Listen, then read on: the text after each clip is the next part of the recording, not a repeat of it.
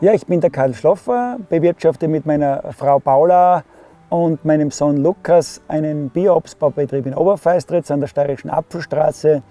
Und unser ältester Sohn, der Johannes, der ist gerade beim Fertigstudieren an der Montanuni Leoben.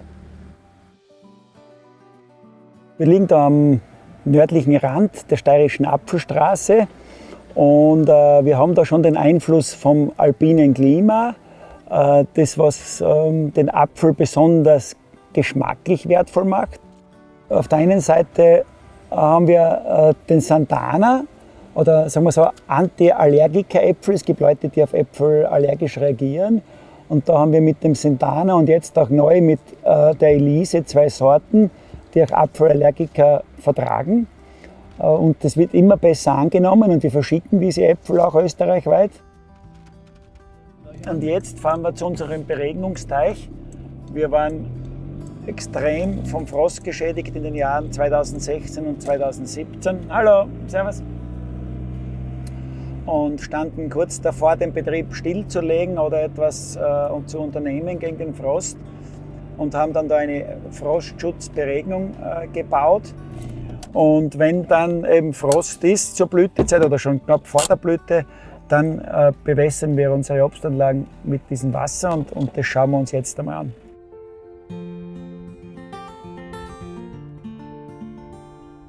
Der Bauer braucht keine große Statistik, sondern der hat das in den letzten Jahren am eigenen Leib äh, verspürt, den Klimawandel. Äh, eine Sache ist, wir ernten gegenüber den 80er Jahren jetzt die gleiche Sorte um drei Wochen früher. Also das bedeutet, es ist ganz einfach viel, viel wärmer äh, geworden. Ähm, das Zweite ist, die Frostereignisse haben dramatisch zugenommen weil es auch viel wärmer ist, treiben die Bäume viel früher aus. Früher hatten wir alle 20 Jahre ein kleines bis mittleres Frostereignis. Jetzt haben wir allein in den, in den letzten vier, fünf Jahren drei extreme Frostereignisse gehabt.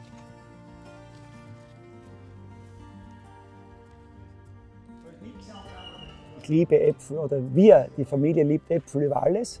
Also wir essen jeden Tag viele Äpfel und, und das, das ist das Schönste für mich. Und irgendwann ist dann der Entschluss gereift, eigentlich muss das ohne chemische Pflanzenschutz- und Düngemittel auch gehen.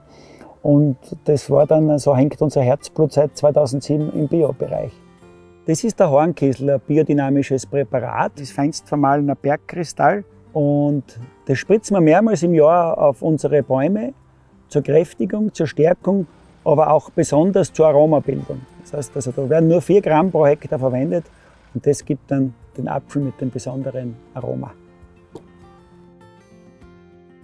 Von den Menschen, glaube ich, äh, würde ich nicht nur für uns, sondern für alle Bauern äh, den Respekt wünschen, den sie sich für ihre Arbeit verdienen. Und dann würde ich auch Solidarität wünschen, dass sie auch hier äh, nicht nur sprechen von regional einkaufen, sondern dass sie das auch umsetzen. Das ist ganz wichtig.